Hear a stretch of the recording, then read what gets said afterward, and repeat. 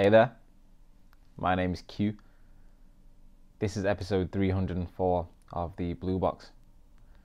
When we are discussing understanding our surroundings and the universe we reside in, we can quote a couple of famous or well known scientists.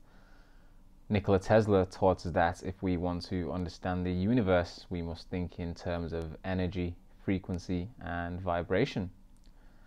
Albert Einstein also taught us that we are currently traveling through space and time. In fact, we are always moving through space and time at an extremely high speed.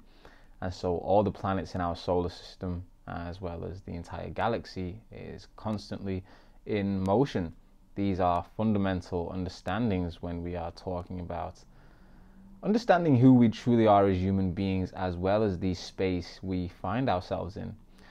What seems to be interesting about space time or the energy we are surrounded by is that it is filled with power or filled with energy. And if we can tap into this energy, we can unlock technologies like anti gravity, free energy, as well as time travel. And so, as we begin to uncover the secrets and knowledge that has been hidden from humanity for a long time, we see ourselves on a path of ascension as a human collective. Thank you for checking into episode 304 of the Blue Box. My name is Q. I hope to see you on the next video.